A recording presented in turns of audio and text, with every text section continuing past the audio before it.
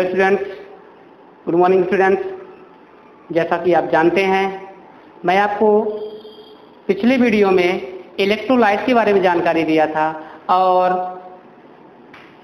Electrolyte का प्रकार वाले आप लोग देखा था। यानी मतलब कहना चाहिए कि इलेक्ट्रोलाइट को कितने वर्गों में बांटा गया है। तो दो वर्गों में बांटा गया था, उसको, उसके बारे में अपन लोग देखें और उसके अंतर में भी देखा। आज की क्लास में अपन लोग थोड़ा पाँच डिफिनीशन है। उसके बारे में अध्ययन करेंगे। ये बहुत ही महत्वपूर्ण क्वेश्चन है इम्पोर्टेंट क्वेश्चन है और ऑब्जेक्टिव टाइप में भी ये क्वेश्चन है। क्योंकि कहना चाहिए कि जैसे एम्पियर होता है तो एम्पियर क्या है? है ना, विद्युत धारा है तो विद्युत धारा का मात्रा क्या होता है? कंपटीशन में भी इस पॉइंट से क्वेश्चन बनता है और पूछा भी गया था। ठीक है बच्चों? तो थोड़ा ध्यान दीजिएगा। आज स्टार्ट करते हैं। पहला पॉइंट है हमारा विद्युत धारा इलेक्ट्रिक करंट यानी विद्युत धारा के बारे में बात करेंगे। विद्युत धारा है क्या? और इसके आवेश, यानी मात्रा के बारे में बात करें। ठीक बच्चों? चलिए, पढ़ते हैं। किसी चालक में से प्रवाहित होने वाले आवेश के प्रवाह की दर को। यानी किसी चालक में से मतलब ऐसा नहीं कोई, आप अगर कोई बूट ले लीजिए, लकड़ी ले लीजिए उसमें धारा का प्रवाह करने लीजिए तो ऐसा नहीं। ऐसा पदार्थ लेना है जो क्या हो? कंडक्टर हो, यानी धारा का प्रवाह वाला पदार्थ हो। तो किसी चालक में से प्रवाहित होने वाले आवेश के प्रवाह की दर को विद्युत धारा कहते हैं। आपको अगर छोटी सी डिफिनेशन बोलना है तो डायरेक्ट बोल दीजिए, आवेश के प्रवाह की दर को ही क्या कहते हैं? विद्युत धारा कहते हैं इलेक्ट्रिक करंट कहते हैं। और इलेक्ट्रिक करंट से किससे व्यक्त करते हैं बच्चों? कैपिटल आई से व्यक्त किया जाता है। इसे क्या करते हैं? कैपिटल आई से व्यक्त किया जाता है। बच्चों थोड़ा नोट्स बना लीजिएगा, क्योंकि नोट बनाने में आपको अच्छा रहेगा, क्योंकि पढ़ने में भी आपको आराम रहेगा और समझने में भी ठीक है तो नोट्स ज़रूर बना लीजिएगा बच्चों, ठीक? अब बताइए, क्योंकि डिफिनेशन तो हो गई, अब कहना चाहिए कि विद्युत धारा को दर्शाते किससे हैं? तो आई से व्यक्त करते हैं तो आई इक्वल क्या होगा बच्चों? तो आई इक्वल हो जाता है D Q upon D T याद रखिएगा आई इक्वल टू क्या हो जाएगा? D Q upon D T फिर पूछा जाता है डी टी क्या है? तो टी तो अब आप जानते हैं टाइम है, लेकिन डी क्यू क्या है? तो डी क्यू विद्युत आवेश की वह मात्रा है जो चालक में से डी टी में प्रवाहित होता है। विद्युत आवेश की वह मात्रा है क्योंकि आवेश हमारा क्यों है तो विद्युत आवेश की वह मात्रा है जो डी समय में क्या होता है? प्रवाहित होता है। क्या प्रवाहित होता है? आवेश प्रवाहित होता है। तो उसी को क्या बोलते हैं? विद्युत धारा कहते हैं। ठीक है? आवेश जो प्रवाहित होता है तो प्रवाह, धनावेश के प्रवाह की दिशा इलेक्ट्रॉनों के प्रवाह के विपरीत होती है। में विद्युत धारा के प्रवाह की दिशा मानी जाती है। ठीक है बच्चों, याद रखना। अब बात करते हैं विद्युत धारा का मात्रा क्या होता है। तो याद रखिएगा, विद्युत धारा का मात्रा क्या होगा? एम्पियर होगा। पूछा जाता है कंपटीशन में विद्युत धारा का मात्रा। तो याद रखिएगा, विद्युत धारा का मात्रा क्या होगा? एम्पियर। अब पूछा जाए आपसे क्वेश्चन किया जाए कि विद्युत धारा को एक एम्पियर में या विद्युत धारा को एम्पियर में मापा जाता है, ठीक है? एक कुलाम आवेश यदि एक सेकंड में प्रवाहित होता है तो विद्युत धारा की मात्रा क्या होगी? क्वेश्चन बनता है आपसे इसी से बनता है क्वेश्चन कि क्या होगा क्वेश्चन एक कुलाम आवेश यदि एक सेकंड में प्रवाहित होता है तो विद्युत धारा की मात्रा क्या होगी? समझ में आ गया क्वेश्चन क्या कहा? यानी एक गुलाम का आवेश है। और क्या कहा उन्होंने?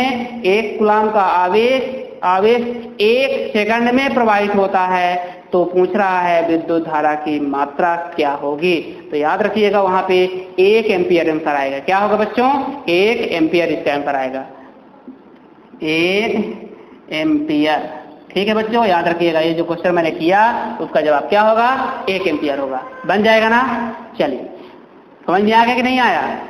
क्योंकि बहुत ही महत्वपूर्ण क्वेश्चन है इलेक्ट्रिक करंट है इलेक्ट्रिक करंट का मतलब होगा किसी चालक में धारा प्रवाहित होनी चाहिए, यानी आवेश के प्रवाह की दर को। क्या कहते हैं? विद्युत धारा। चलिए, दूसरे पॉइंट की बात करते हैं। की बात करते हैं। दूसरा पॉइंट होता है बच्चों, प्रतिरोध और प्रतिरोध को इंग्लिश में कहते हैं रेजिस्टेंस ठीक है? प्रतिरोध है क्या? क्योंकि आपको पता है, प्रतिरोध से ही अर्थ निकल रहा है, प्रतिरोध। यानी यदि धारा कोई हो, प्रवाहित हो रही है तो उसमें क्या हो? कोई रुकावट आ जाए। ठीक है? प्रतिरोध, यानी हम जा रहे हैं तो हमारे में कोई क्या हो जाए? रुकावट उत्पन्न हो जाए। देखिए क्या लिखा उन्होंने। प्रत्येक चालक विद्युत धारा के प्रवाह में कुछ रुकावट, यानी प्रत्येक चालक विद्युत धारा के प्रवाह में कुछ रुकावट रुकावट को क्या बोला उन्होंने? गतिरोध। कुछ रुकावट या गतिरोध उत्पन्न करता है, जिसे चालक का प्रतिरोध कहते हैं। ठीक है? समझ में आगे डिफिनेशन क्या लिखा हुआ है? कि प्रत्येक चालक में विद्युत धारा के प्रवाह में गतिरोध यानी प्रतिरोध। प्रतिरोध का मतलब क्या हुआ? जो धारा जा रही है तो उसमें कुछ क्या करे? रुकावट डाले। यानी गतिरोध उत्पन्न करे। और जब गतिरोध उत्पन्न हो जाती है तो उसी को क्या बोलते हैं? प्रतिरोध। ठीक?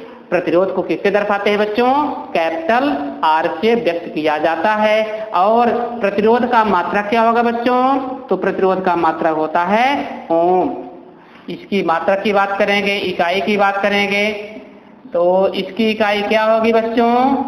ओम होगी। ओम का पैम्बल क्या होगा? ये। ओम को किस प्रकार से डिनोट किया जाता है?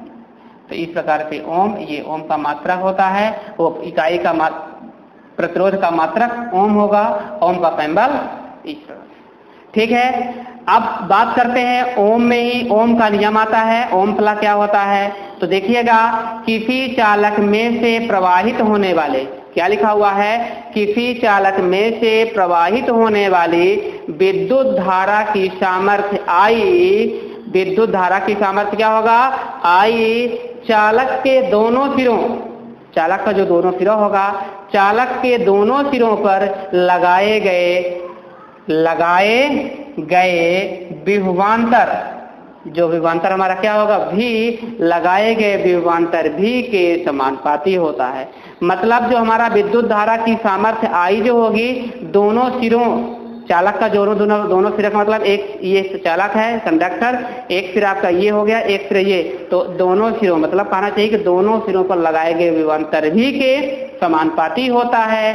तो प्रश्न में मतलब जो आपका नियम है, नियम के आधार पर क्या बताया? आई समानुपाती या आई डायरेक्टली प्रोपोर्शनल भी के। ठीक है, अब इसको सॉल्व करिए तो क्या हो जाएगा? आई इजिकल टू क्या हो जाएगा? I is equal to R into भी, या इसको हम ऐसे भी लिख सकते हैं भी इजकल टू आई आर।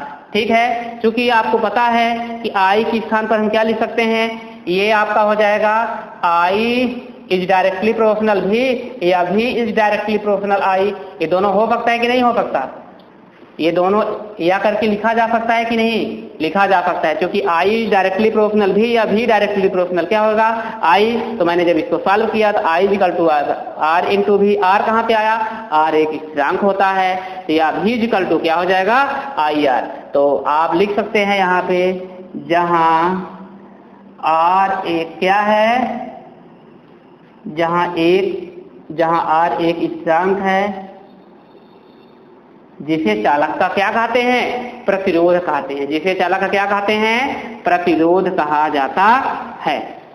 जिसे चालक का प्रतिरोध कहा जाता आर एक स्थिरांक है। जिसे चालक का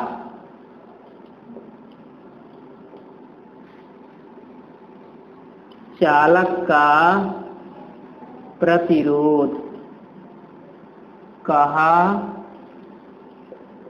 जाता है। ठीक है बच्चों, समझ में आ गया? यानी हमारा ओम का नियम क्या कहा? किसी चालक में प्रवाहित होने वाले विद्युत धारा की मात्रा या विद्युत धारा की सामर्थ्य आई चालक के दोनों सिरों पर लगाए गए विवांतर भी के विवांतर यानी भी के समानुपाती होता है। तो आई इज़ डायरेक्टली प्रोफेशनल भी या भी इज़ डायरेक्टली प्रोफेशनल आई हो गया। मैं उसको सॉल्व किया तो भी इजिकल टू आई आर कह दीजिए या आई इजिकल टू क्या हो जाएगा? आर इंटू भी के ये हमारा क्या है? ओम का नियम। और मात्रक तो बता दिया आपको मैंने क्या किया? प्रतिरोध का मात्रक क्या होता है बच्चों? ओम। ठीक है? चलिए, ठीक। ओके। आई स्टूडेंट्स तीसरे पॉइंट की बात करते हैं। तीसरे पॉइंट में क्या है आपका? विशिष्ट प्रतिरोध स्पेसिफिक रेजिस्टेंस क्या होता है स्पेसिफिक रेजिस्टेंस अभी अपन लोग इसके पहले प्रतिरोध पढ़े हैं तो आपको तो पता हो गया कि नहीं कोई चालक है और यदि उसमें कोई धारा प्रवाहित हो रही है तो उसमें कोई प्रतिरोध उत्पन्न हो जाए तो हम उसको क्या बोलते हैं? प्रतिरोध. अब यहाँ पे क्या हो जाएगा यानी गतिरोध उत्पन्न हो जाता क्या बोलेंगे प्रतिरोध। लेकिन अब यहाँ पे क्या आ गया, विशिष्ट प्रतिरोध आ गया। तो देखिए क्या कहा उन्होंने, किसी चालक का प्रतिरोध। क्या लिखा है? किसी चालक का प्रतिरोध आर, उसकी लंबाई यल के, यानी लंबाई यल के क्या होगा?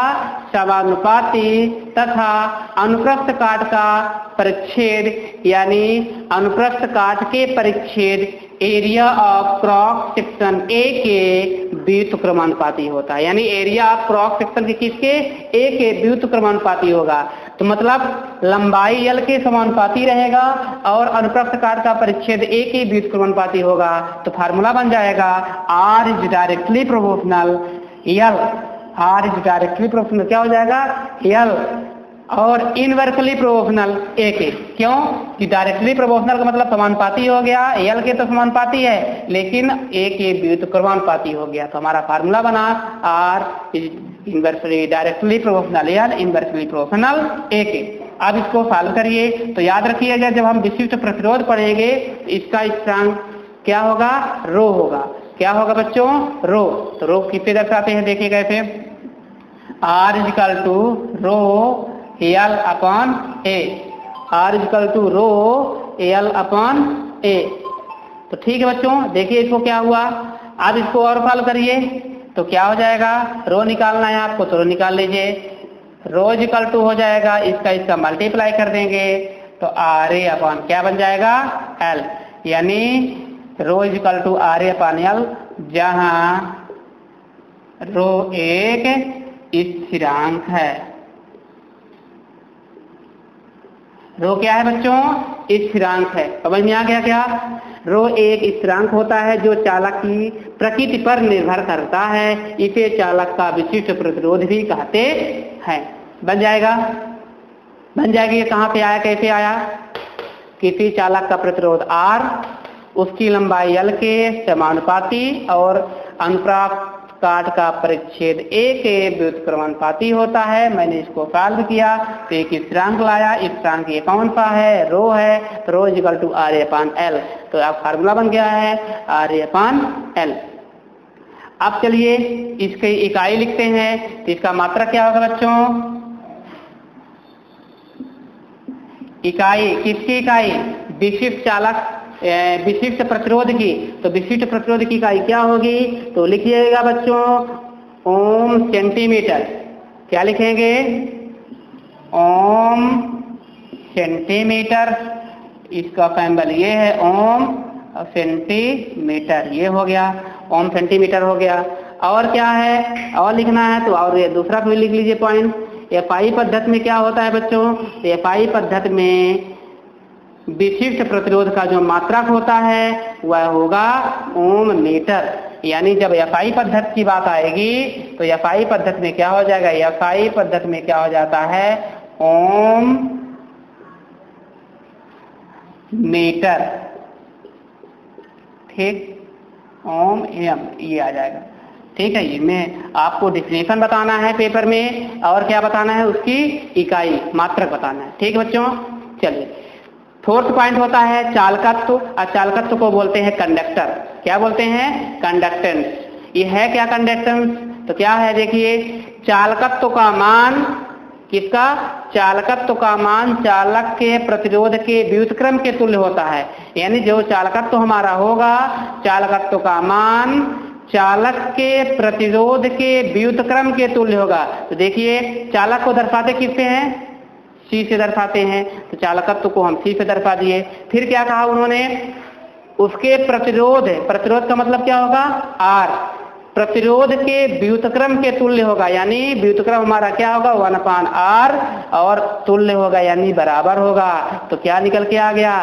C is equal to one upon R ठीक समझ में आ गया? सी इजकल टू क्या हुआ? वन अपान आर इतना समझ में आ गया? ये डिफिनेशन कहाँ से निकल के आ गई? चालकत्व का मान, चालकत्व को किसे दर्शाते हैं? सी से। चालकत्व का मान, चालक के प्रतिरोध तो चालक का प्रतिरोध हमारा आर हो गया।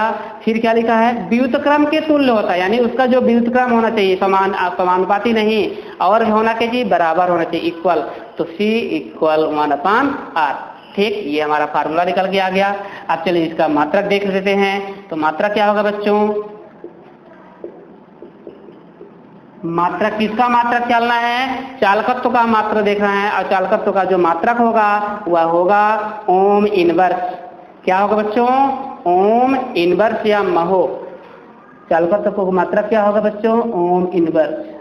ओम इनवर्स बता दीजिए, या महो भी कहा जाता है। क्या बोला जाता है? महो शब्द याद रखना, याद रखिएगा। जो कंपटीशन पूछा जाता है इसके बाद हम थोड़ी सी बात करेंगे आपको, एफआई पद्धति में क्या कहते हैं चालकत्व का मात्रक क्या होगा? तो एफआई पद्धति में चालकत्व को जो मात्रक होता है, सीमेंट होता है। एफआई पद्धति में किसकी बात होगी यही? एफआई पद्धति में क्या होगा? सीमेंट। अब सीमेंट को किससे दर्शाते हैं बच्चों? स्मॉल कैपिटल एस से व्यक्त किया जाता है। ठीक है? समझ में आ गया? तो यदि मान लीजिए आपके पेपर में यह क्वेश्चन में पूछा जाए मतलब कहना चाहिए कि महो इनवर्स बराबर या ओम इनवर्स बराबर क्या होगा? तो क्या बताएँगे? Ohm inverse equal mho in mho equal क्या होगा? तो आप लिख दीजिए सीमेंट ठीक है, ये आपको याद रखिएगा, ये मात्रक यूनिट पूछी जाती है हमेशा। तो यूनिट में क्या हो जाएगा? Ohm inverse is equal to mho is equal to siemens यानी तीन, तीनों में से कोई आ जाएगा। तो क्या होगा? कंडक्टेंस होगा। ठीक है बच्चों? चलिए चलिए स्टूडेंट फिफ्थ पॉइंट में विशिष्ट चालकत्व की बात करते हैं। स्पेसिफिक कंडक्टेंस ये क्या है स्पेसिफिक कंडक्टेंस तो किसी चालक के विशिष्ट प्रतिरोध का व्युत्क्रम, किसी चालक के मतलब अगर कोई चालक है तो चालक पदार्थ कौन हो सकता है? कोई चालक का पदार्थ का नाम बताइए। एल्यूमिनियम हो, या कापर सीयू हो, या एजी हो। तो मतलब कहना चाहिए, किसी चालक के विशिष्ट प्रतिरोध का व्युतक्रम उसकी विशिष्ट चालकत्व या चालकता कहलाती है। यानी उसका व्युतक्रम होना चाहिए। अब व्युतक्रम में होगा तो निश्चित रूप से क्या हो जाएगा बच्चों? अपान में होगा। तो के जिकल टू क्या हो जाएगा? वन अपानी ये के नहीं, बल्कि कप्पा है। तो चूँकि जो हमारा विशिष्ट चालकत्व है और विशिष्ट चालकत्व को हम किससे व्यक्त करते हैं? कप्पा से व्यक्त करते हैं। किससे व्यक्त करते हैं बच्चों? कप्पा। क्योंकि हमारा के है तो के फॉर कप्पा हो जाएगा यहाँ पे।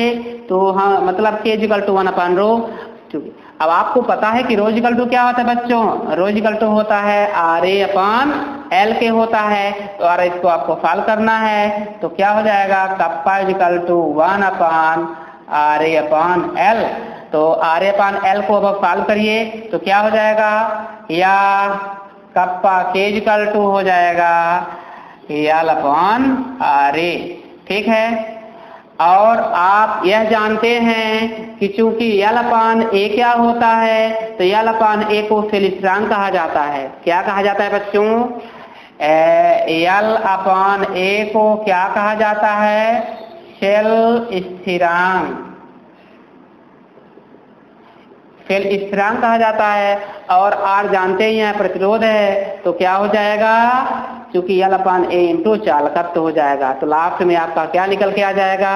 यल अपान ए इंटू चालकत्व ठीक है? समझ में आ गया? तो ये रहा है आपका चालकत्व हो गया। याद रखिएगा, किसी चालक के विशिष्ट प्रतिरोध का व्युतक्रम, यानी कोई प्रतिरोध होगा, उसका व्युत्क्रम होना चाहिए। वह उसकी विशिष्ट चालकत्व कहलाता है। और इसकी जो इकाई होगी तो इकाई लिख लीजिएगा। विशिष्ट चालकत्व इकाई क्या होगी बच्चों? ओम इनवर्स, मीटर इनवर्स हो जाएगी। क्या हो जाएगी? विशिष्ट चालकत्व की इकाई ओम इनवर्स और मीटर इनवर्स। तो इसकी इकाई लिख लीजिएगा। मात्रक, ओम इनवर्स, मीटर इनवर्स। मात्रक क्या हो जाएगा? Ohm inverse, metre inverse. इसको किस प्रकार लिखेंगे? ओम इनवर्स और मीटर इनवर्स। ये आपका लिख गया सैम्बल दर्शा दिया इसको। फिर लास्ट में हम बात करते हैं, किसकी? तुल्यांकी चालकता। तुल्यांकी चालकता को क्या कहते हैं? तुल्यांकी चालकता को व्यक्त किससे करते हैं बच्चों? लेमडा ए क्यू ये लिखा हुआ है, लेमडा ए क्यू यानी लेमडा से व्यक्त किया जाता है। तो याद रखिएगा, किसी बिलियन की तुल्यांकी चालकता उन समस्त आयनों की चालकता होती है। यानी किसी बिलियन की तुल्यांकी चालकता उन समस्त आयनों की चालकता होती है, जो एक ग्राम तुल्यांकी विद्युत अपघट्य को, एक ग्राम तुल्यांकी विद्युत अपघट्य को भी एम में विलय करने से उत्पन्न होती है। यानी भी एम का मतलब आयतन में विलय करने से उत्पन्न होती है। इसे लेमडा से व्यक्त किया जाता है। किसे? तुल्यांकी चालकता को किससे व्यक्त करते हैं बच्चों? लेमडा से व्यक्त किया जाता है। और तुल्यांकी चालकता को लेमडा से व्यक्त किया जाता है तो तुल्यांकी चालकता का मात्रक क्या होगा? तो इसका मात्रक लिख लीजिए। तुल्यांकी चालकता को हम सीमेंस मीटर स्क्वायर या ग्राम तुल्यांक इनवर्स करते हैं। तो इसका मात्रक क्या हो जाएगा? सीमेंस सीमेंस मीटर स्क्वायर क्या होगा? सीमेंस मीटर स्क्वायर या ग्राम तुल्यांक इनवर्स हो जाएगा। ठीक है? ग्राम तुल्यांक इनवर्स हो जाएगा। तो समझ में आ गया बच्चों? कोई दिक्कत तो नहीं है। पूछ लीजिए जो पूछना हो। ये रहा है आपका क्या है? क्योंकि मात्रक बता दिया सीमेंस मीटर स्क्वायर या ग्राम तुल्यांक इनवर्स हो गया तो ये आपका रहा तुल्यांकी चालकता। लास्ट जो आपका सेवन नंबर है मोलर चालकता तो मोलर चालकता की डिफिनीशन सेम टू सेम यही होगी। तुल्यांकी चालकता के समान ही है आपका सेवन पॉइंट मोलर चालकता। तो चलिए मोलर चालकता की भी डिफिनीशन लिख लीजिए। सेवन नंबर में मोलर चालकता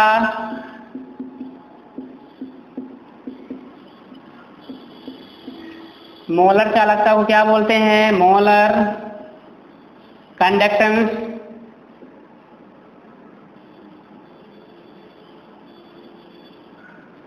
मोलर कंडक्टेंस किसे कहते हैं? तो इसकी डिफिनीशन हो जाएगी, लिख लीजिए। मोलर कंडक्टेंस किसी बिलियन की मोलर चालकता क्या हो जाएगी? किसी बिलियन की मोलर चालकता, यानी किसी बिलियन की मोलर चालकता क्या होगी? मोलर चालकता पदार्थ के एक ग्राम मोल। पदार्थ के एक ग्राम मोल। अभी वहाँ पे क्या था? एक ग्राम तुल्यांक लिखा था। यहाँ पे क्या है? एक ग्राम मोल को भी भी मतलब क्या होगा? आयतन। एक मोल को भी घन सेंटीमीटर में विलय करने पर। भी को, एक मोल भी को घन सेंटीमीटर में विलय करने पर। क्या कहा? एक ग्राम मोल को भी घन सेंटीमीटर में विलय करने से उत्पन्न हुए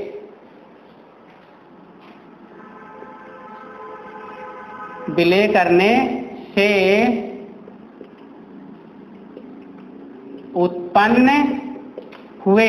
क्या उत्पन्न हुआ? आयनों की संख्या या आयनों की चालकता होती है। उत्पन्न हुए आयनों की चालकता होती है।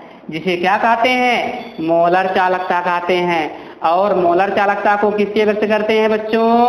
क्योंकि मोलर चालकता है तो मोलर चालकता को आपको लेमडा है, लेमडा भी ई क्यू के स्थान पर क्या हो जाएगा? लेमडा ही रहता है, लेकिन यम लिखा रहता है। यम का मतलब क्या होगा? मोलर चालकता। ठीक है बच्चों, याद रखिएगा, ये आपका मोलर चालकता हुआ, क्योंकि डिफिनेशन देखिए क्या लिखे, किसी विलन की तुल्यांकी चालकता, उन समस्त आयनों की चालकता है जो ग्राम तुल्यांकी विद्युत अवघट को VML में विलय करने से उत्पन्न होता है। और यहाँ पे क्या लिखा हुआ है? अंतर सिर्फ़ क्या है? एक ग्राम मोल को VML में घन सेंटीमीटर में विलय करने से उत्पन्न होता है। क्या? आयनों की चालकता उत्पन्न होती है। ठीक है? तो जब मोलर चालकता की बात आएगी तो EQ की बात करेंगे। जब सॉरी जब मोलर चालकता की बात आएगी तो यहाँ पे EM की बात करेंगे। तो ले, मतलब लेमडा रहेगा लेकिन यम रहेगा मोल। अगर यम को क्या खाते हैं? यम ओ एल को मोल से दर्शाते हैं। और जब तुल्यांकी चालकता रहेगा तो लेमडा ई क्यू रहेगा। ठीक है बच्चों? समझ में आ गया? तो ये आपका सेवन पॉइंट था। बहुत ही महत्वपूर्ण पेपर में इसमें पूछा जा चुका है क्योंकि पूछा गया था कि निम्न की टिप्पणी लिखिए। अथवा निम्न की परिभाषा और उदाहरण। इन्हीं में से आपसे चार पूछा जाएगा और चारों की आपको परिभाषा पूछी जाएगी और मात्रक पूछा जाएगा। ठीक है? तो आप इसको नोट कर लीजिएगा। लास्ट में हम आपको सभी का मात्रक दे देते हैं। क्या क्या पॉइंट है? तो उसमें आप मात्रक देख लीजिएगा, क्योंकि मात्रक हमेशा कंफ्यूजन होता है। तो एक एक करके मैं लिख देता हूँ, क्योंकि प्रतिरोध, विशिष्ट प्रतिरोध, देखिए क्या है? आपका प्रतिरोध हो गया। फिर विशिष्ट प्रतिरोध विशिष्ट प्रतिरोध। दूसरा पॉइंट क्या होगा? चालकता, विशिष्ट चालकता। चालकता, विशिष्ट चालकता। ठीक, चार हो गए। फिर इसके बाद चालकता, विशिष्ट चालकता हो गया। तुल्यांकी चालकता, मोलर चालकता। तुल्यांकी चालकता मोलर, चालकता, क्योंकि यहाँ पे ऑब्जेक्टिव भी आना है सेल स्ट्रांग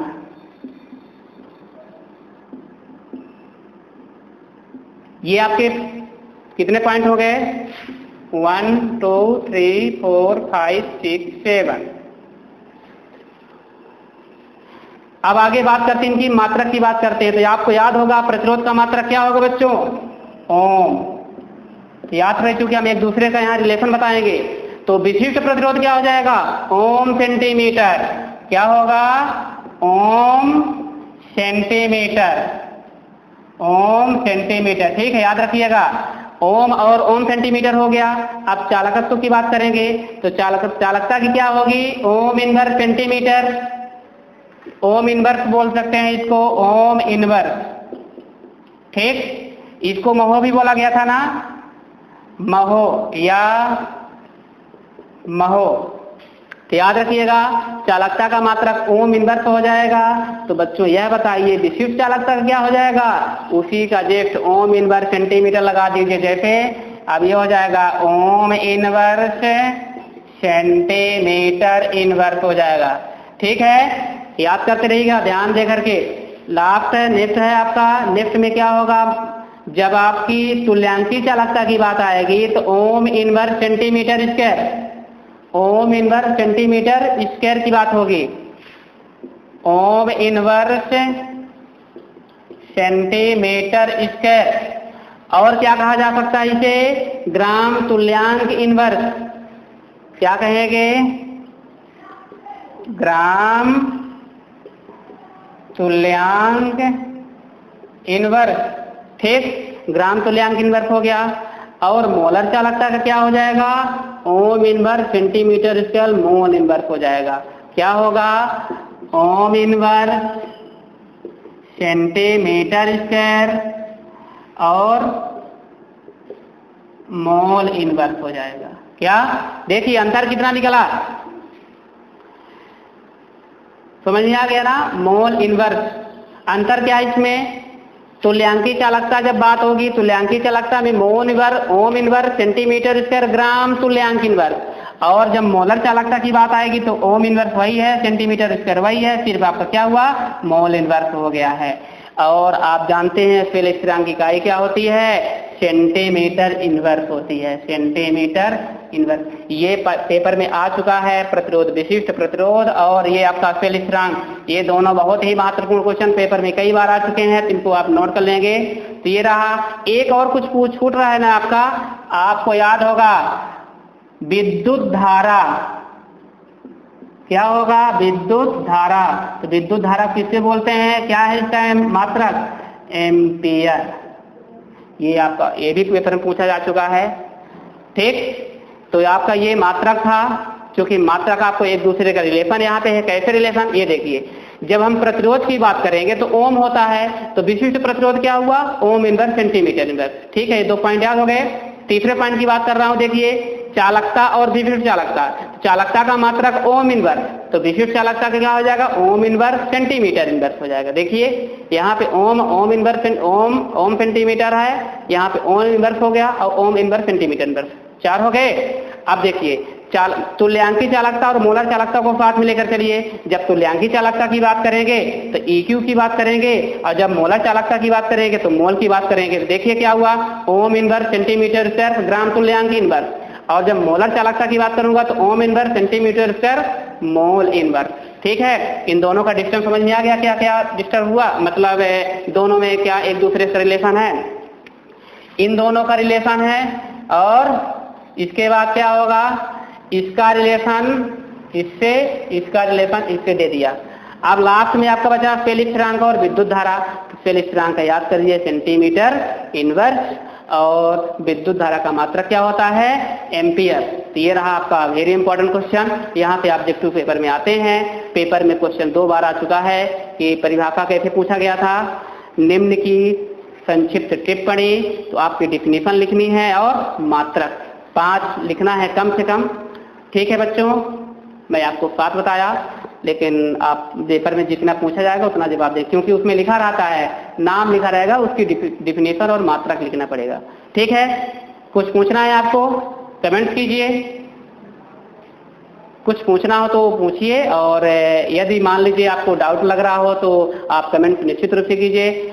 बच्चों, इस वीडियो को आप देखिए, क्योंकि प्रॉब्लम सिर्फ़ ये है कि आपके पास वीडियो पहुँचता है, फिर आप देखते नहीं हैं। तो का कारण मतलब आप नेगेटिव पॉइंट मत लाइए, क्योंकि वहाँ पे क्या होगा लॉकडाउन में यदि आपको घर बैठे प्रोवाइड करा रहा हूँ आप लोगों को तो निश्चित रूप से आप उसका इस्तेमाल कीजिए, पढ़िए, लिखिए, समझिए। जो प्रॉब्लम हो तो प्रॉब्लम क्रिएट कीजिए, निश्चित रूप से आपके क्वेश्चन का जवाब आएगा और दिया जाएगा। ठीक है बच्चों? कुछ कमेंट करना हो तो बताइए। ठीक है? तो यदि आपको मेरा वीडियो अच्छा लगा हो, अपने मित्रों को सेंड कीजिए और बताइए, ठीक है? थैंक यू फॉर वॉचिंग इस वीडियो